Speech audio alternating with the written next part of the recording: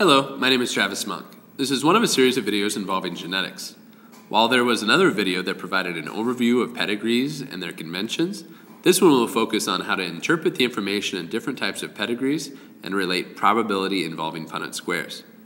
The pedigree on this slide exhibits a recessive disorder. Individual Roman numeral 3 3 is homozygous recessive, and individual Roman numeral 2 5 is a carrier for this trait. This video will provide you with the ability to determine this sort of information. With a large enough pedigree for a simple, that is, a single gene trait, you can apply knowledge of Punnett squares and probability to determine what pattern of inheritance a trait shows. I could determine that the pedigree on this slide is recessive, for example, and tell you the genotypes of half of the individuals in this family. There are three types of pedigrees that we'll be discussing in this video and identifying in class. The three types are listed here and explained through the upcoming slides. Autosomal dominant, that is, dominant traits that are located on any chromosome except for the X and Y, is the first type. Autosomal recessive, traits that are recessive and located on any chromosome other than the sex chromosomes, are the second. And finally, you'll learn how to identify recessive traits that are located on the X chromosome. Autosomal dominant traits, such as Huntington's disease or hypocholesterolemia, genetic high cholesterol, show up in individuals that have one copy of the dominant allele. If you have even one form of this gene, you would have that particular trait or disorder. Since you can't be a carrier for an autosomal dominant trait, that is, if you have one allele, you have the trait, these traits can't skip generations. All of the individuals that are unshaded would be homozygous recessive for this trait using that same logic. When trying to learn information using pedigrees, keep in mind that all you can do is disprove certain possibilities. Just because the example on the right could be autosomal dominant doesn't mean that it couldn't be autosomal recessive. Examples of autosomal recessive disorders would include Tay Sachs disease, sickle cell anemia, and cystic fibrosis. There are some basic guidelines when trying to identify autosomal recessive trait pedigrees, just like those that are autosomal dominant. First, these traits can, but don't have to, skip generations, as shown in the picture to the right. Roman numeral 1 2 has the trait. Neither Roman numeral 2 1 or 2 2 do, but one of their children, Roman numeral 3 2, does.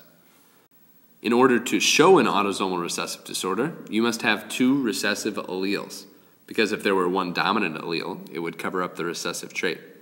With this knowledge, you can determine that all shaded individuals must be homozygous recessive. Another piece of information that can be useful when evaluating recessive pedigrees is that every parent must either be a carrier for this recessive trait or have it in order to pass it on to their children. X-linked recessive traits, such as male pattern baldness and red-green color blindness, exhibit many similarities, yet some significant differences to autosomal recessive traits, just described. Since these traits are recessive, it is possible for them to skip generations. Just like autosomal recessive traits, described in the previous slide, that doesn't mean that they have to. The primary difference between autosomal and X linked recessive traits involves the fact that males only have one X chromosome. As a result, it is much more common for males to have these characteristics than females. This fact is demonstrated in the pedigree on this slide. Only males, the squares, show this particular trait. Because of how X-linked recessive traits work, there are some specific things that you can do to identify them in pedigrees. Since males receive their only X chromosome from their mother, if a son's mother has an X-linked trait, her son would always get it. If a male has one copy of an X-linked trait, he would show that trait since he only has one X chromosome. Since a father only passes on his X chromosome to his daughter, a father must have an X linked trait in order for his daughter to have it. All of these rules to sort out what type of pedigree that you're looking at can be a little bit confusing. What's important to recognize is that the rules of probability, the content covered with Punnett squares, apply to pedigrees. When in doubt, either write out or run Punnett squares through your head to determine what you can learn from a certain section of a pedigree. Write out genotypes below individuals as you work to make sense of things. It's time to run through some examples involving Punnett squares and pedigrees. The first example question asks, if this pedigree exhibits Huntington's disease, an autosomal dominant trait, what is the genotype of Roman numeral 2, 3? Step number one, identify who you're talking about. Highlighted now is Roman numeral 2 3. This is an autosomal dominant trait, and he doesn't have it. That leaves only one possibility, and that is that he's homozygous recessive. Lowercase g, lowercase g would work as an answer. The second question to do with Huntington's disease asks, what is the genotype of Roman numeral 3 1? Again, identify who you're talking about first. Roman numeral 3 1 has this dominant trait, so she must have at least one capital letter, one dominant allele. Since her mother, Roman numeral 2 2, didn't have this trait, she must have been homozygous recessive. Filling out a Punnett square in your head or doing one on paper leaves only one possibility, and that is that she must be heterozygous or have the genotype capital G lowercase g. The third question in this set asks if Roman numeral 1 1 is homozygous dominant or heterozygous for this particular trait. After identifying who you're talking about, highlighted here, the first step I'd take is to look at his children. If he were homozygous dominant, he could only pass on the dominant alleles to his children. If that were the case, every one of his children would be expected to have this particular disorder. Two of his children, Roman numerals 2 3 and 2 6, don't have this particular trait, so it's safe to assume that this individual is heterozygous for the trait. The second set of example problems states if this pedigree exhibits Tay Sachs disease, an autosomal recessive disorder, what is the genotype of Roman numeral 2 3? Identify Roman numeral 2 3 on this pedigree. Individual 2 3 has this particular recessive disorder. The only way that you can have a recessive disorder is if you are homozygous recessive for it, lowercase h, lowercase h, for example. The second part of this set asks, what is the genotype of Roman numeral 2 1? After identifying this individual, look at his parents or his children to determine the answer.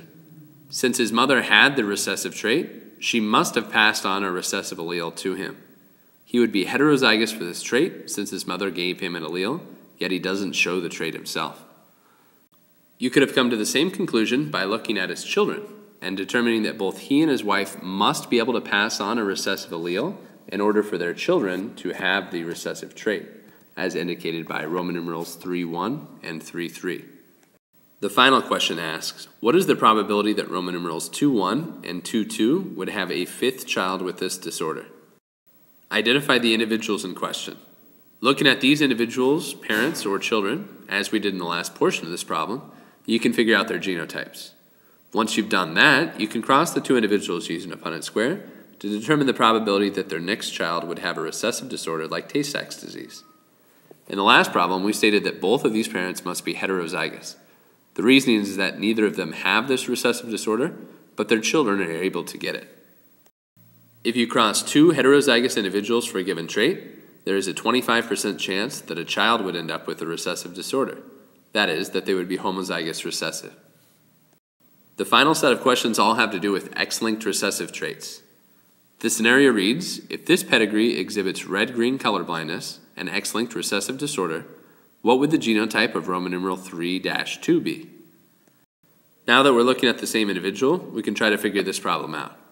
For X-linked problems, it's important to note that the sex of the individual in question is important. Roman numeral 3-2 is a male that has this particular disorder. Males only have one X chromosome, and their other sex chromosome is a Y. As a result, Roman numeral 3-2 would have the genotype X lowercase b Y, as shown in red here, since he shows this particular recessive disorder. The second part of this problem reads, what is the genotype of Roman numeral 2-2? Now that we've identified the individual, a female, we can use the rest of the pedigree to determine her genotype. She doesn't have the disorder, so that eliminates the possibility of being homozygous recessive. The question that remains then, is she heterozygous or homozygous dominant for this trait? Since her father had the trait, since her son has the trait, she must have received and be able to pass on the recessive allele. Her genotype must be X capital B, X lowercase b, and she is a carrier for this trait. The final question involving this pedigree asks, could Roman numeral 2, 1 and Roman numeral 2, 2 have a daughter with this particular disorder? After identifying the individuals in question for this pedigree, we need to refer back to the questions earlier, where we determined that Roman numeral 2, 2's genotype was X capital B, X lowercase b. The last thing we need to work through this problem is to determine the genotype of Roman numeral 2-1. Since he's a male, he only has one X chromosome. And since he doesn't have this particular disorder, he must have a single copy of the dominant form of this gene. Filling out a Punnett square for this problem would help to solve it. I have placed the mother's genotype that we just described on top, and the father's genotype that was mentioned on the previous slide on the left-hand side. I took the liberty to fill out this Punnett square. The top two Punnett squares, highlighted here, would be females. They possess two X chromosomes apiece.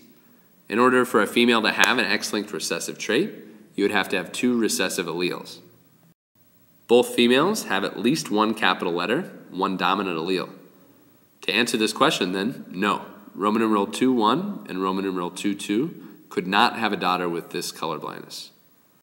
Sometimes, instead of being given the type of inheritance for a particular problem, you'll be asked to find it yourself. This question asks, what type of inheritance is shown in this pedigree? To recall the earlier slides, you've got three options, autosomal dominant, autosomal recessive, or X-linked recessive. And again, the idea is to eliminate options and not to jump to a conclusion right away. To rule out dominant traits, an easy rule to look at or a question to ask is, does this trait skip a generation? In this case, yes, it skips a generation in the encircled section. Roman numeral 3.1 and Roman numeral 3.3 both have a particular trait, but neither of their parents do. As a result, you can rule out an autosomal dominant disorder. Two options remain. Is this an autosomal recessive or an X-linked recessive pedigree? One of the rules I suggested regarding X-linked traits said that any female that possesses one would always, that is 100% of the time, pass it on to her sons. As you can see in the box section of this pedigree, there is a circumstance, just one circumstance, in which a mother with this trait had a son without it. As a result, this could not be an X-linked recessive disorder. If you were to look at all the rules for an autosomal recessive pedigree, you'd find that this one would fit the bill. This is an autosomal recessive pedigree. That is the end of this video explaining how to answer questions involving pedigrees. If you're interested in learning about any other concepts related to genetics or any other themes of biology, please subscribe to my channel. Thank you.